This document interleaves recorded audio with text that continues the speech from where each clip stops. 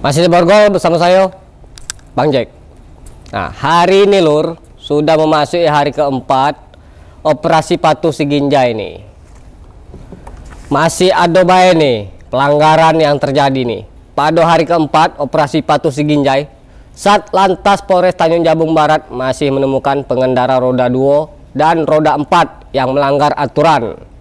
Nah, salah satunya tidak mempunyai SIM serta tidak mempunyai helm atau tidak memakai helm maksudnya.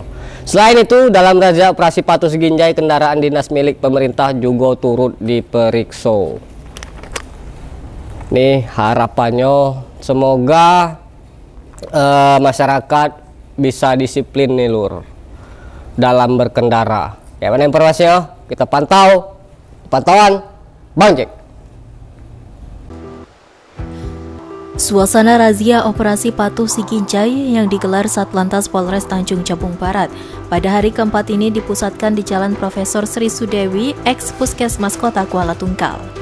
Terlihat pada hari keempat razia ini pengendara roda 2 dan roda 4 di stop dan diperiksa oleh petugas. Kanit Turjakwali Satlantas Polres Tanjung Jabung Barat, Ibda Hansimangun Song mengatakan, pada operasi patuh Siginjai di hari keempat ini, pihaknya masih menemukan sejumlah pelanggaran secara kasat mata. Sejumlah kendaraan di stop dan diperiksa termasuk kendaraan dinas milik pemerintah juga tidak luput dari pemeriksaan petugas. Selain itu, pada razia kali ini petugas juga menemukan pelajar yang tidak memakai helm dan mempunyai SIM saat berkendara. Guna memberi efek jerah, para petugas terpaksa memberikan hukuman dengan berjalan jongkok menuju tempat lokasi pos tilang. Ini baru menarik dikit.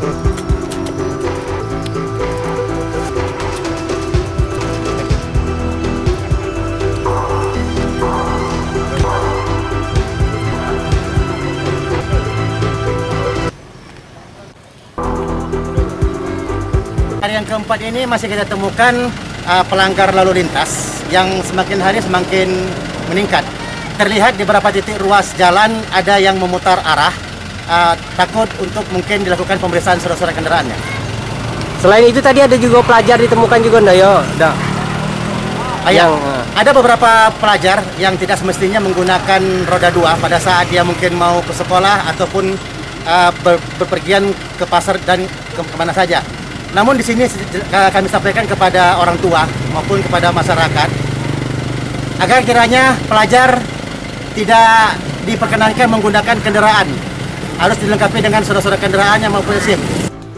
Selain itu ditambahkan Ibda Hans bahwa dalam kegiatan Operasi Patuh Siginjai 2022 ini, Satlantas Polres Tanjung Jabung Barat tetap melakukan tindakan secara preventif dan humanis.